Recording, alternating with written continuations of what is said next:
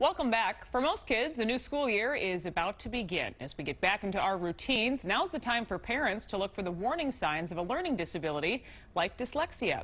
And joining us tonight is Dr. Elizabeth Schnobrich, a psychologist with the Learning Center at Groves Academy in St. Louis Park, and she specializes in teaching children with learning disabilities. Dr. Schnobrich, thanks for being here. Thanks for having me. Good to, good to see you. And this is an important topic, especially this time of year. And let's just kind of start with talking about what dyslexia is. I think a lot of us just think it's a reading problem, but it's not that simple, right? No, that's, it's very common. A lot of people have a misunderstanding of what dyslexia is, and we're beginning to realize that upwards of 20% of our population actually has reading difficulties like dyslexia. Dyslexia is more than just reversal of letters such as B and D. It's a language problem. People with dyslexia have difficulty understanding and learning and manipulating what we call speech sounds. It's called phonetic awareness.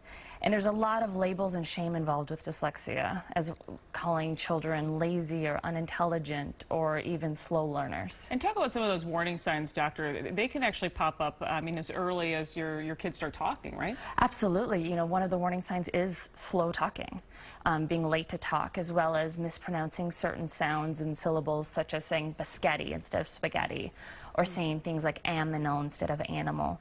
And then as children go into the classroom, some other warning signs are difficulties with understanding their letters or letter sounds.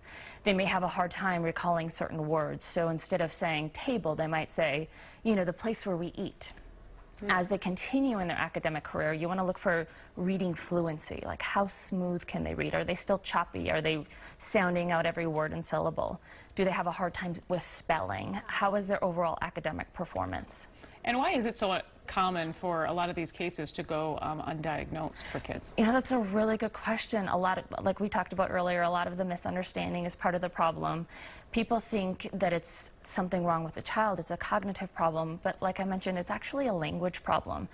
Kids with dyslexia are actually very intelligent. They have amazing gifts and strengths that get missed because they're so bogged down with some of their reading difficulties. They actually find ways to hide and cope. They use different strategies, such as they might look for cues in pictures, they might memorize words.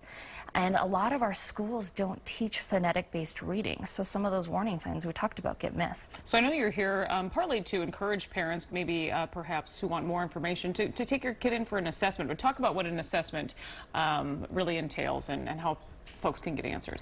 Absolutely. So at Groves Academy, we do a very comprehensive assessment procedure. We take each child that comes in as an individual, we look at their unique struggles and their unique difficulties, and then we try to really come up with some answers for the family. We look at the whole picture. We also look for things like anxiety or ADHD or other learning disorders that also can cause difficulties with that academic success. We spend around four to five hours with each child with a hmm. break for lunch. And when we're done, we write up a full written report that we give to the parents that has specific recommendations, not just for the parents, but also for the schools to help provide some academic success for that child. And bottom line, why is it so important to have an early diagnosis? Well, what we found is information is power, which is what I tell all of my families, is once we understand a child's unique learning profile, we can help to create that path to success. We can give them tools and resources, and we can create a program that helps them feel better in their school setting. The earlier we diagnose, the easier it is to remediate. We diagnose children as young as early elementary school. Wow. Well, it's a very important topic. Thank you, Dr. Schnobrich, for being here to talk to us about it. Absolutely. Thanks for having me. Thank you. And for more information on Groves Academy, just check out our website. Go to WCCO.com.